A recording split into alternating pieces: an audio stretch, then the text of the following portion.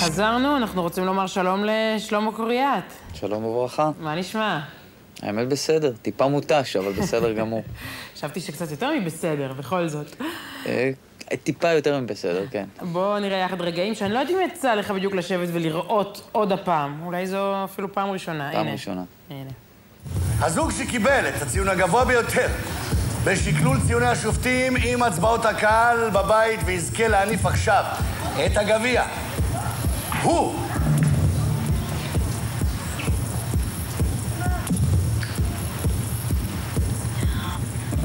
שלומי והדס!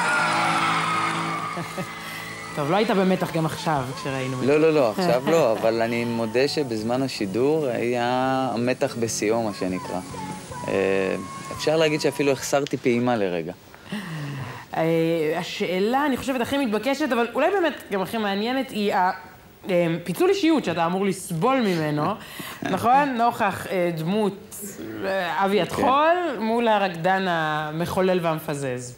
אה, תשמעי, האמת שאני די השתדלתי להביא קצת מהאישיות של אבי לתוך הריקודים. היו הרבה מאוד ריקודים שעסקו ברצינות וקשיחות, ושם נכנס אבי לפעולה, מה שנקרא. אבל אה, מבחינתי זה היה, האתגר הגדול הוא באמת, אה, כמו שאת אומרת, להביא איזשהו פן נוסף על עצמי שלא מכירים. ו... וזה יצא בזכות הריקוד, כי הריקוד הזה, הריקודים האלה היו מאוד משחררים מבחינתי. היה לי נורא כיף שם. נראה לי שבכלל צריך לשאול אותך מה אתה רוצה להיות כשתהיה גדול, כי גם תיאטרון, נכון? כן. אתה, ואתה כבר אב ל, ל, לשניים, אבל שניים. גם תיאטרון וגם קומדיות ו- וריקודים וסדרות דרמה, ו- ומה לא. את יודעת, איך אומרים אצלנו? תודה לאל, ברוך השם. אני, אני מבסוט. אני... תשמעי, אני חושב שזה, שהמקצוע הזה, זה מה שיפה בו, שאתה יכול לעשות הכל מהכל.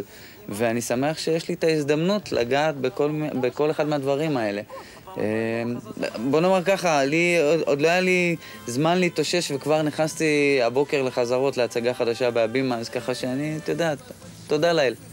שלומי קוריאט, תודה, תנוח. תודה רבה, תודה רבה.